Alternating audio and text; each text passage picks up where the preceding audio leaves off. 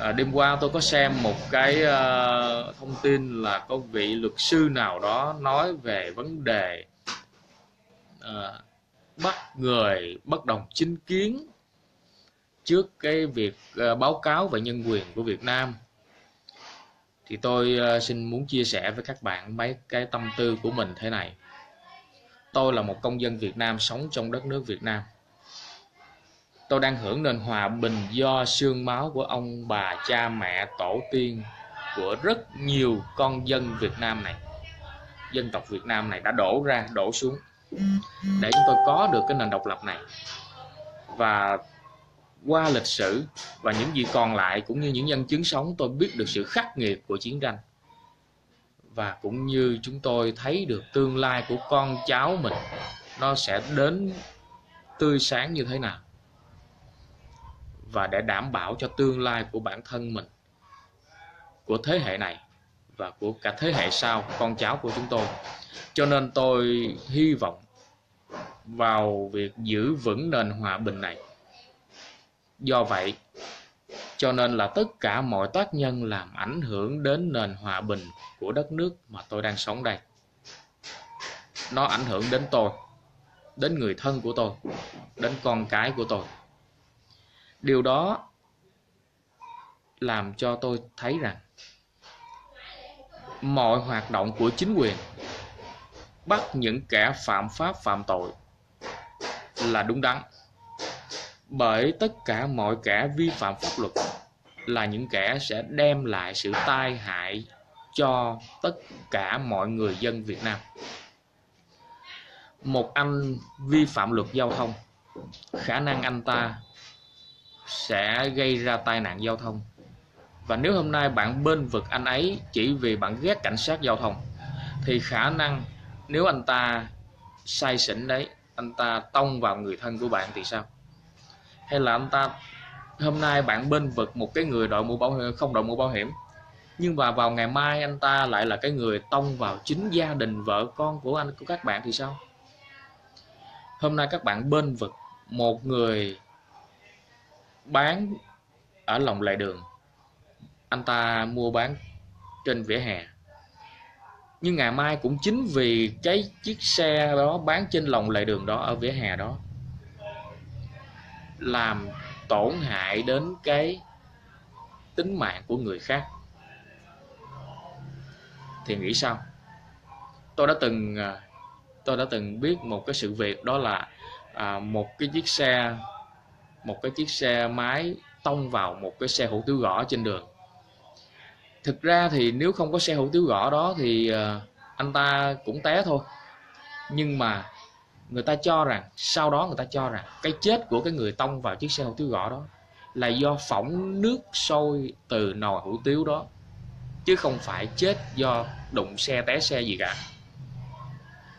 Chúng ta thấy rằng là tất cả những cái điều gọi là chúng ta khi thấy cảnh sát, thấy công an dẹp vỉa hè,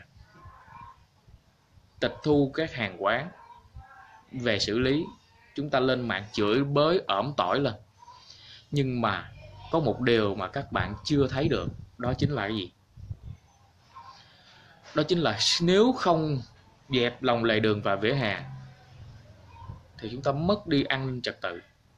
Đường phố xấu đi và không bao giờ chúng ta có được cái nền văn minh nào ở đây nữa cả. Tôi thấy trong suốt thời gian qua, chính quyền bắt khá nhiều các thành phần gọi là phản động, gọi là chống đối chính quyền rồi lật đổ nhà nước. Tôi ủng hộ và hoan nghênh điều đó, bởi tất cả những kẻ đòi lật đổ nhà nước có nghĩa là họ đang cố gắng muốn phá đi cái nền hòa bình mà chúng ta đang có ở đây. Chúng ta sống ở đây, chúng ta biết được nền hòa bình của chúng ta như thế nào chúng ta thấy được chúng ta đang an toàn như thế nào, chúng ta thấy được là chúng ta đang sống ổn định như thế nào. Và tất cả những kẻ bị bắt đó, nếu không phải là tâm thần hoang tưởng thì nó cũng có những cái vấn đề cụ thể đó là bất mãn. Chúng ta không thể lấy một cái bất mãn của một kẻ nào đó. Chúng ta không thể vì bất mãn của một kẻ nào đó mà làm ảnh hưởng đến tương lai của cả cái cộng đồng này. Cộng đồng chúng ta đang sống ở đây chúng ta không chấp nhận những kẻ phản lại cái cộng đồng này. Bắt những kẻ phản nghịch, làm trong sạch xã hội, để xã hội trật tự, để xã hội an ninh. Đó chính là bảo đảm quyền của, quyền lợi của tất cả mọi người dân Việt Nam. Mọi tội phạm đều tổn hại đến nhân dân Việt Nam. Và vì nó đều tổn hại đến nhân dân Việt Nam cho nên chính quyền nên bắt, phải bắt, cần thiết phải bắt. Điều đó đúng. Cho nên là ai đó bảo rằng là bắt tội phạm là ảnh hưởng tới nhân quyền, không có đâu.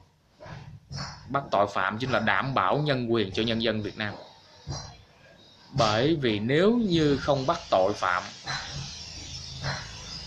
xã hội này loạn lên mọi quyền của người dân không còn được đảm bảo được nữa. Bởi trong một xã hội loạn thì không bao giờ có cái quyền nào ở đây nữa cả. Và khẳng định một điều rằng tất cả những kẻ cầm bản đi ra đường biểu tình là đụng chạm tới quyền và lợi ích của những người khác, bởi nó vi phạm luật giao thông, bởi nó vi phạm và nó chỉ mang tính chất cá nhân của bản thân nó. Nó không phải là tất cả, của tất cả mọi người dân mong muốn như thế nó gây rối an ninh trật tự.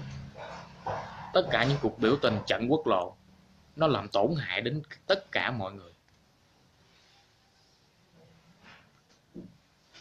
Do vậy cho nên chúng tôi ủng hộ chính quyền Việt Nam bắt giữ, xử lý một cách thích đáng đối với tất cả những kẻ vi phạm pháp luật.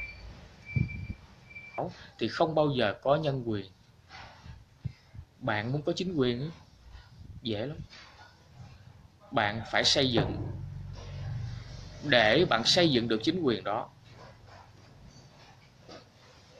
thì bạn phải dấn thân. Bạn muốn có nhân quyền thì bạn phải xây dựng chính quyền. Bạn muốn xây dựng chính quyền, bạn phải dấn thân. Không thể ngồi nhà lên trên mạng xã hội giống như tôi đây đang nói. Mọi ý kiến của tôi chỉ là cá nhân và tôi nói cho các bạn nghe. Chính quyền đâu có lên mạng xã hội này ngồi nghe tôi nói nếu tôi cần góp ý cho chính quyền, tôi viết đơn, viết thư gửi chính quyền.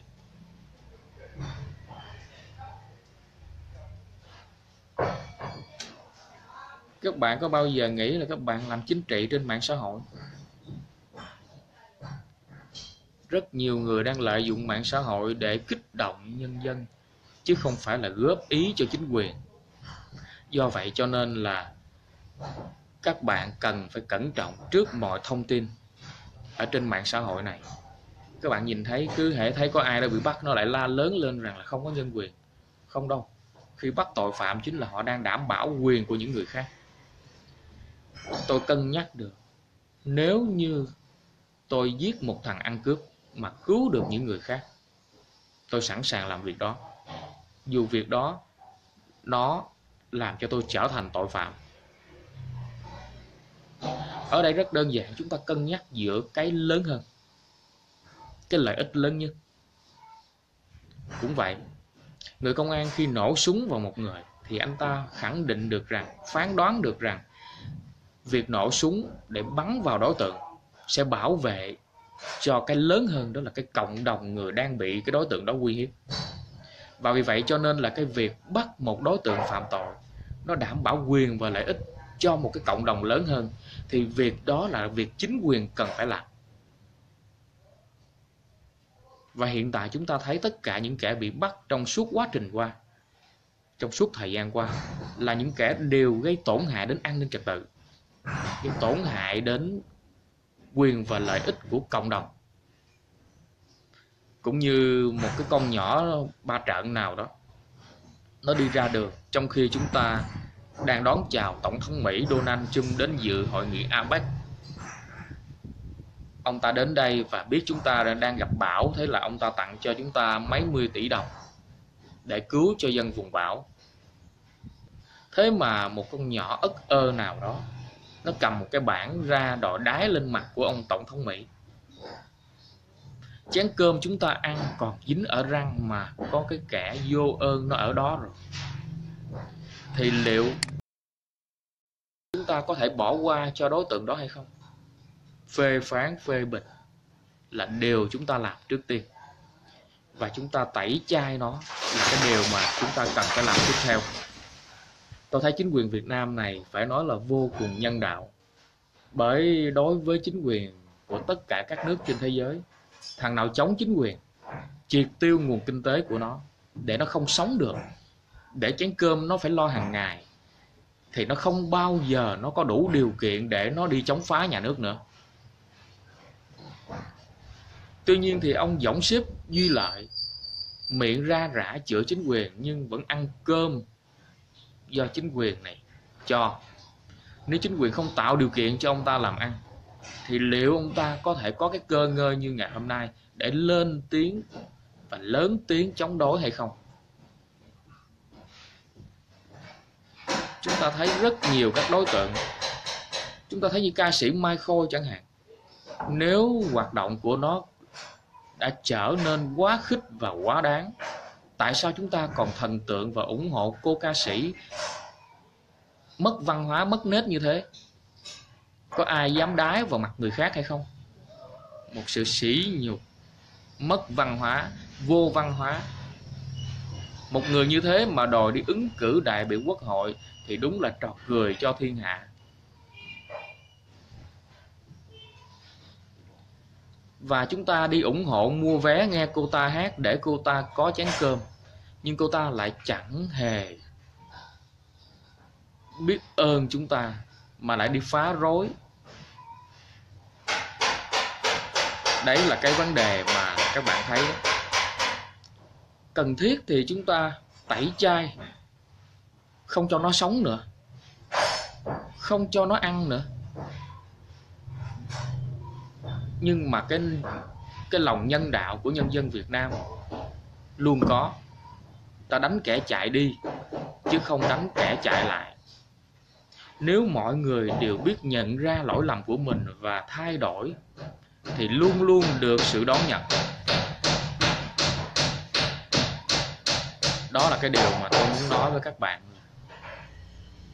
ở Việt Nam này, thứ nhất là không có cái gọi là tù nhân lương tâm hay là tù nhân chính trị, mà chỉ có những kẻ vi phạm pháp luật bị bắt về cái hành vi đã được vi quy định ở trong luật pháp, trong hiến pháp.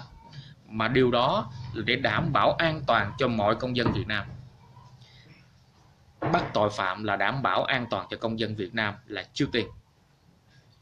Và để đảm bảo được an toàn cho công dân Việt Nam chính là đảm bảo nhân quyền cho Việt Nam.